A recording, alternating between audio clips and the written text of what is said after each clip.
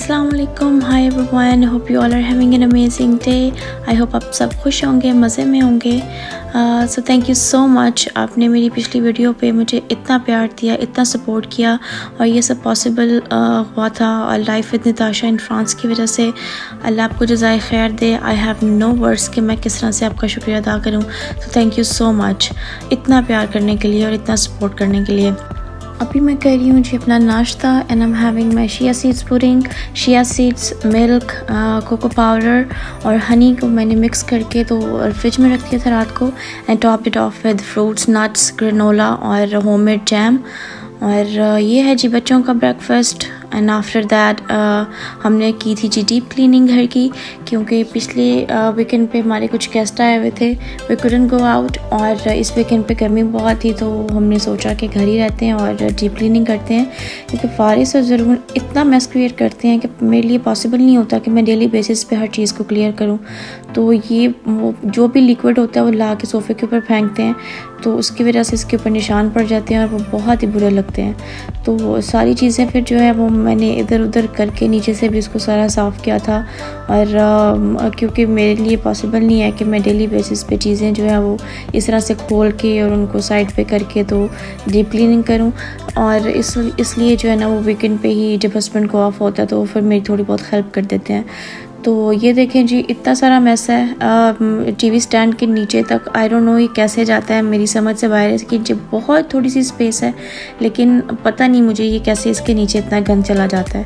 तो मैंने just vacuum किया था और और इसके बाद मैंने मॉपिंग की और हस्बैंड जो हैं उन्होंने फिर डस्टिंग की साथ में मेरे मिलके और टीवी के ऊपर भी बच्चों ने बहुत सारे जो है वो निशान लगाए हुए थे जो भी खाते हैं हाथों के साथ जाके बस उसके ऊपर लगा देते हैं।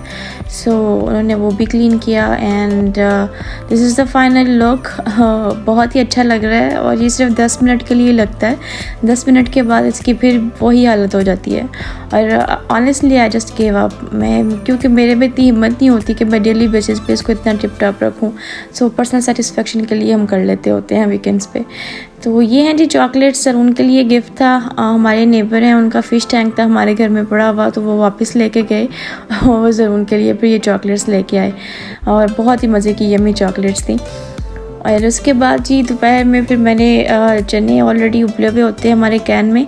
तो मैंने फटाफट से पोटैटो बॉयल करके उसमें टमाटो और योगर्ट चाट मसाला और ये जो रेडी और ये जो रेडिश होती है, ये ऐड की और सॉल्ट और थोड़ा सा जो है वो इमली का पानी था, वो ऐड किया था।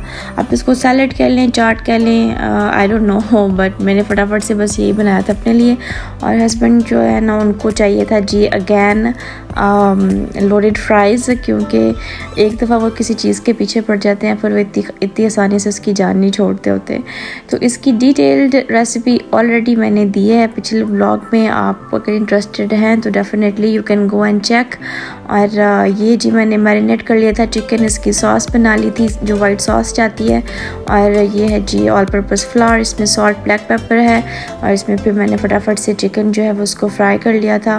और साथ फ्राइज़ बना ली थी और जो है वो उनका मज़े का लंच रेडी हो गया था।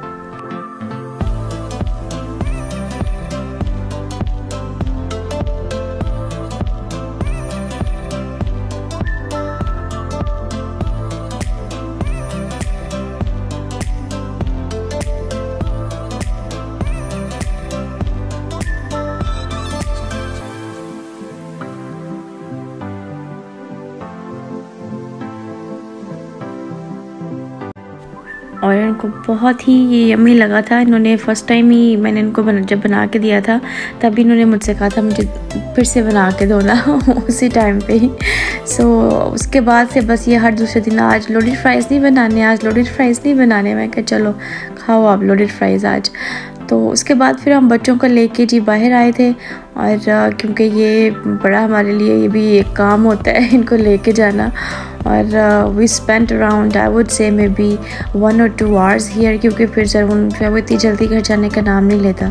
सो so, ये डिफरेंट पार्क है ये भी uh, ये कम्युनिटी पार्क्स होते हैं इस तरह के भी uh, पहले पिछली वीडियोस में आपने देखा है मैं इनको किंडर गार्डन वाले पार्क्स में लेके जाती हूँ। लेकिन ये कम्युनिटी पार्क है बिल्डिंग्स में इस तरह से होता है। ये काफ़ी बड़ा है as compare to kindergarten one so Zaroon and Faris, they had an amazing time here.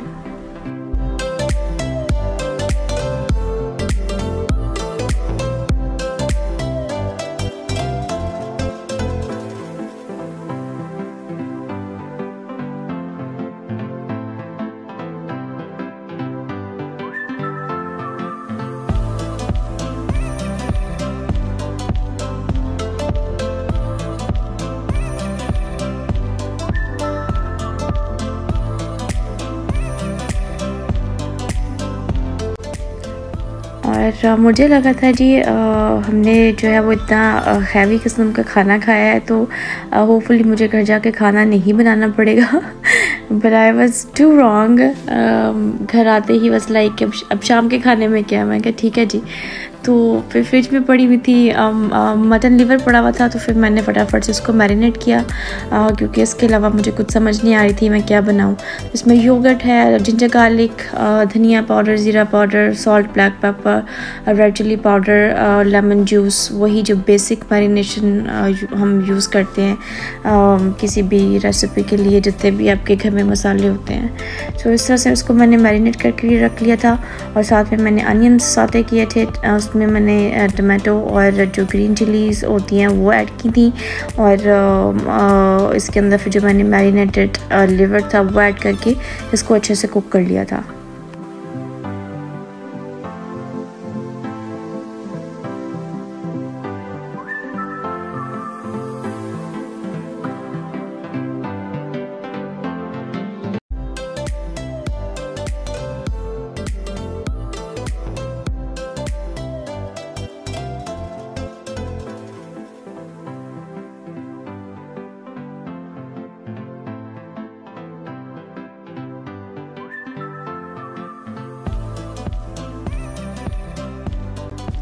और जी, यहाँ पे ऑलमोस्ट जो है वो लिवर रेडी हो गया है और इसके साथ मैंने बनाई थी टर्किश फ्लैट ब्रेड और ये नान के जैसी ही होती है, लेकिन इसमें खमीर नहीं जाता। इसमें बेकिंग पाउडर बेकिंग सोडा मैंने ऐड किया था और थोड़ा सा ऑयल ऐड करके तो इसको मैंने, इसकी डो बना ली थी।